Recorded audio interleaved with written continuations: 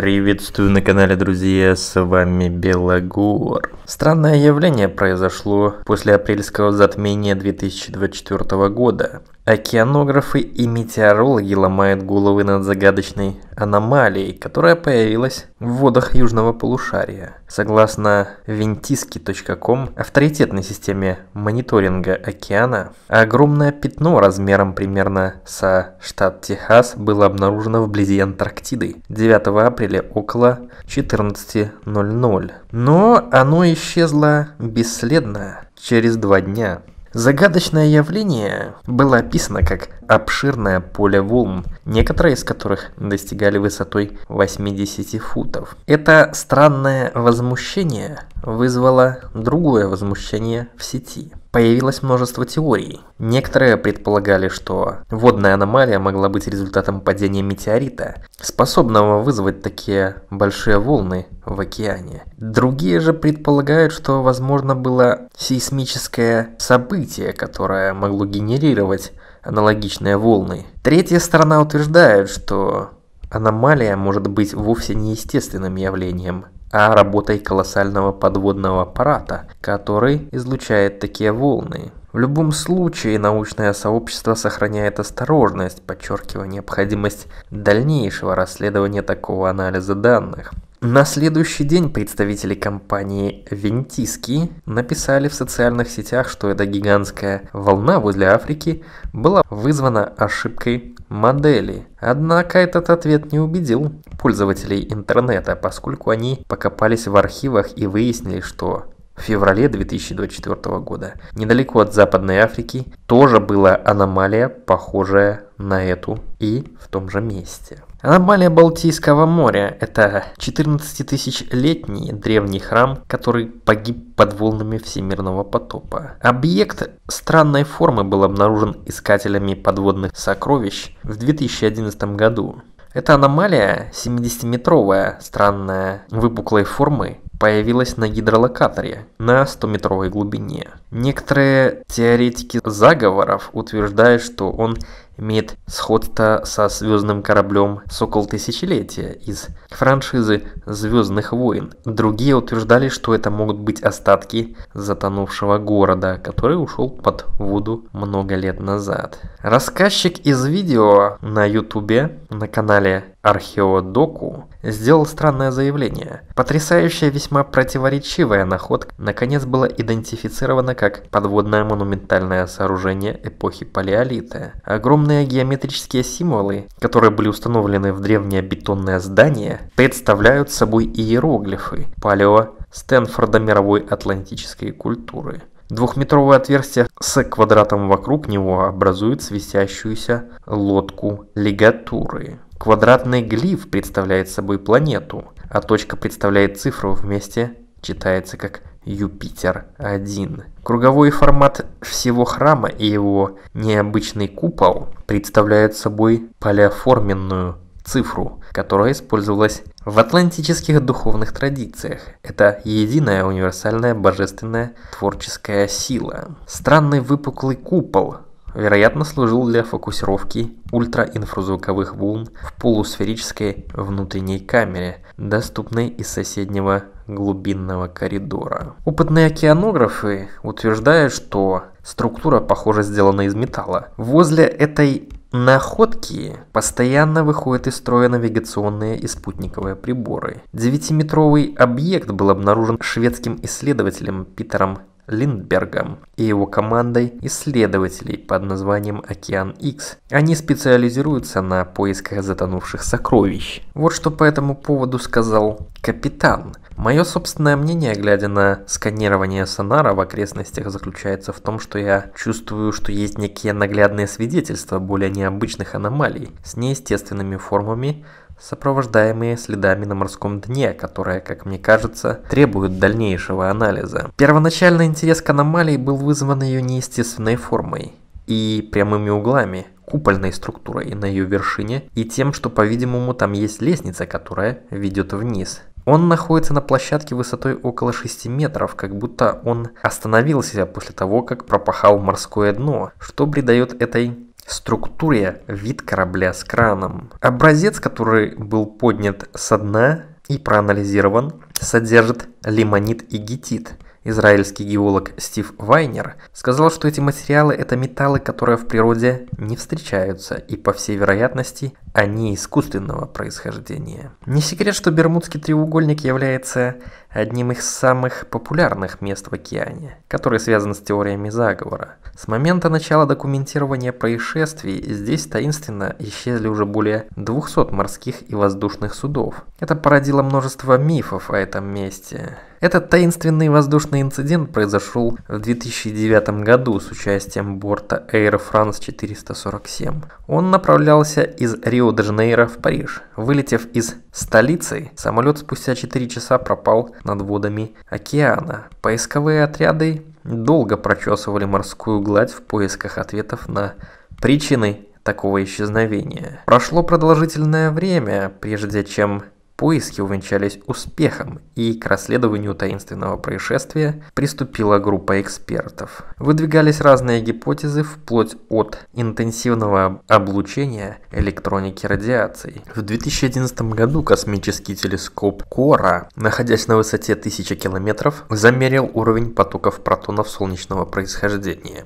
При помощи таких измерений была найдена область, в которой протоны проходят дальше, чем в других местах на Земле. Эта область, как ни странно, находилась именно там, где незадолго до этого потерпел крушение борт Air France 447. Таким образом, была найдена странная закономерность. Магнитное поле в этом месте отличалось от того, что фиксируется в других частях нашей планеты. Это место назвали Южноатлантическая магнитная аномалия. Точно так же, как Бермудский треугольник опасен для кораблей и самолетов. Так называемая бразильская аномалия тоже представляет собой известную угрозу для разного рода судов. Также было выяснено, что этот район радиационной аномалии дышит в кавычках. Периодичность такого дыхания соответствует циклам солнечной активности. В максимуме активности потоки уменьшаются, а в минимуме, наоборот, увеличиваются. Причина возникновения южноатлантической аномалии неизвестна, но предполагается, что она связана с другими гораздо более опасными явлениями, падением напряженности общего магнитного поля Земли. Еще один странный факт, который можно сказать о нашей планете, это подводные аномалии. Таинственный свет, который поднимался с дна моря, заинтриговал рабочих нефтяной платформы в бассейне «Компас», которая расположена между Рио-де-Жанейро и Эспириту-Санту. Явление, которое было запечатлено очевидцами на видео, стало вирусным в социальных сетях и платформе YouTube, породив многочисленные спекуляции и теории по этому поводу. На видео, снятом одним из рабочих, видно интенсивное свечение в воде. Солнце зашло с другой стороны, комментирует один рабочий, говоря о том, что в этом регионе не должно быть света. Эта сцена вызвала жаркие дебаты в интернете. Как бывает в таких случаях, Сразу же появилось несколько теорий на этот счет. Одни предположили, что свет может исходить от подводной лодки, которая является наиболее правдоподобной гипотезой. Один из комментаторов в платформе YouTube написал, что возможно на дне океана происходит какая-то вечеринка с электрическими рыбаками. Бассейн Кампас один из основных нефтеперерабатывающих регионов Бразилии и на долю которого приходится около 30% добычи нефти в стране и 14% природного газа. Он насчитывает более 40 открытых нефтяных месторождений, включая такие как Марлим и Ранкадор. Этот таинственный свет может иметь различное происхождение, но точное его происхождение никто не может установить. В конце прошлого века глубоководные микрофоны Национального управления по проблемам океана и атмосферы, сокращенно NOAA, зафиксировали самый громкий в истории звук, когда-либо записанный в морских просторах. Он был такой силы, что его уловили два прибора, которые находились почти на 5000 километров друг от друга. До сих пор ломают головы, какому животному существу принадлежит этот странный клич, и неизвестно откуда он исходил. Так ученые и не пришли к определенному выводу по поводу происхождения этого громкого звука. Но Со временем его крестили «Голос Ктулху» по мотивам романа из книги Говарда Лавкрафта. За много лет до изучения подводного мира ученым попадалось лишь два образца загадочного вида. Эти оба вида были личинками. Судя по двухметровым зародышам, так называемый лептоцефал в зрелости может достигать 20 метров. Еще сто лет назад встреча с таким монстром могла обернуться для моряков настоящей трагедией. Многие говорят, что эти животные до сих пор встречаются на просторах океана. Вообще, сам по себе океан хранит очень много тайн, и еще в 19-20 веке отмечались странные случаи, когда некие неизвестные объекты стремительно вылетали из воды и на большой скорости исчезали в небе. Например, в 1824 году был опубликован дневник Эндрю Блокхама, в котором было описано странное явление. Его наблюдали 12 августа, когда судно шло по водам Атлантического океана. Вот запись из вахтенного журнала. Сегодня 12 августа 1824 года, приблизительно 3.30 утра, ночная вахта на палубе неожиданно застыла от изумления. Все пространство вокруг озарилось светом, хотя было темно. Посмотрев на восток, мы увидели огромное круглое светящееся тело. Оно поднималось примерно под углом в 7 градусов из воды к облакам. Потом оно исчезла из поля зрения. Такая же картина повторилась еще раз. Тело было цвета раскаленного до краснопушечного ядра и по размерам походило на солнце. Оно излучало очень сильный свет. На палубе можно было найти иголку в это время. Вот еще один рассказ от 1845 года. Бригантина Виктория плавала в Индийском океане в 1360 километров от Азии. Внезапно экипаж заметил странное явление. На протяжении 10 минут в полумиле от нашего корабля из воды вылетели три сверкающих тела. Они скрылись в небе, но моряки смогли их рассмотреть. Эти тела имели форму дисков размером в 5 раз больше Луны и были соединены между собой некими светящимися шнурами. В скором времени эти диски появились вновь и, приблизившись к поверхности воды, нырнули под нее. Что касается подобных явлений, их неоднократно замечали советские моряки. В 1965 году члены команды теплохода «Радуга» в Красном море наблюдали, как в двух милях от судна из воды вылетел огненный шар. Он был диаметром в 60 метров.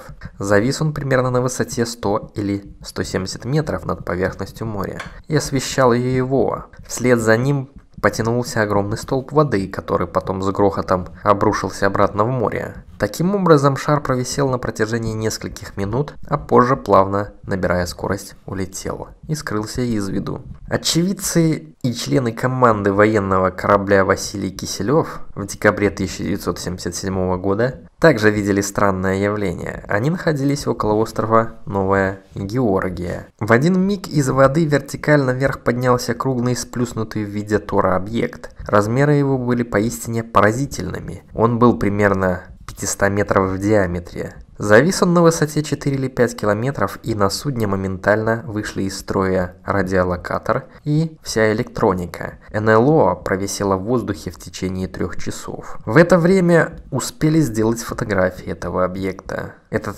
странный бублик, как его прозвали моряки за это время, вскоре моментально исчез. В любом случае, океан хранит в себе множество тайн, которые предстоит разгадать. С вами был Белогур. Всем спасибо за внимание. Подписывайтесь на канал, если вам нравятся мои видео. Оставляйте комментарии, что вы думаете по этому поводу. До встречи в следующих выпусках.